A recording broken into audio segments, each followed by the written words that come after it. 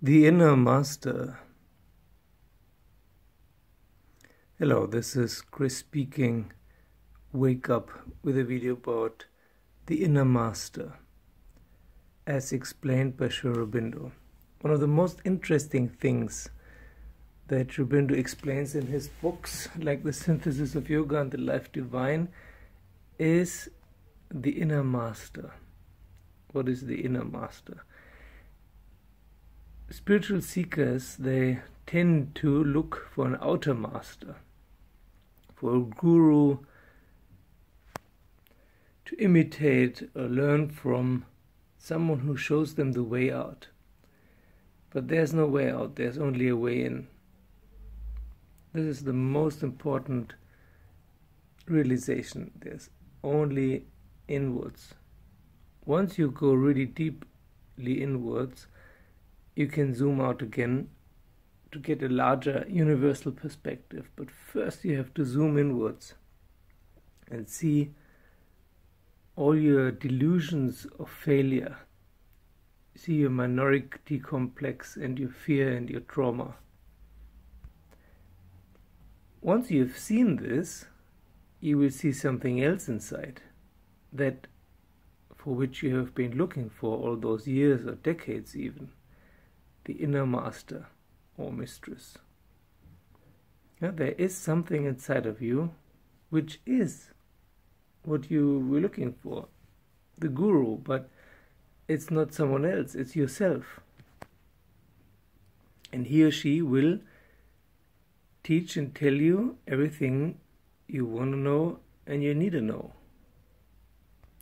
So look no further. It's all inside. And this inner master is connected to the divine, to the absolute, to the infinite, to the universe, whatever you want to call it. All teachings are ultimately a way to yourself, to your inner master. This inner master is what some people call your true self. Yeah, it is often said there is no self.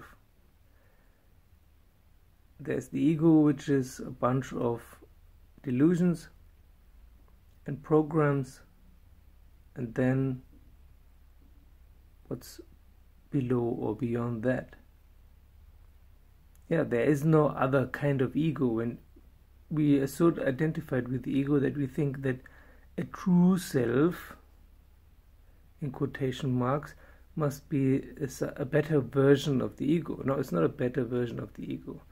Once the ego starts to dissolve, there's no no other thing coming taking its place that is somehow better. That is also where you don't have to improve somehow. You have to don't have to work on becoming a better you. No. But there is something that is already perfect you are already perfect. And this something that can show you how and why is called the inner master. And you don't have to look anywhere else for it, only inside. So I would look very closely, if I were you, at why you're watching so many videos and reading so many books and so on because the only quality of those, the only usefulness of those is to point you towards your inner master. You will not get any information, any valid information from those videos and books except to look inside. Look inside, look inside, look inside. That's it. And look inside with complete honesty and openness and vulnerability. Yes, it will hurt for a while what you will see and experience there, but not for very long actually. If you really accept what's coming, then this inner master will come up, will show up. And there will be no more need for external teachers or gurus or influencers.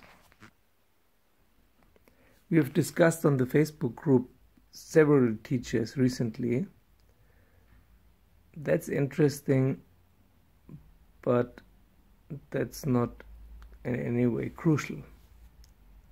It's just a hobby, a pastime. What's interesting is what is inside of you and why are you avoiding looking at it?